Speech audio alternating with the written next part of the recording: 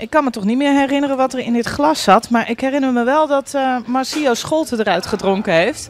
Die stond ook op het podium. Komt uit Alphen aan de Rijn. Maar echt ruige shit hoor. Luister maar.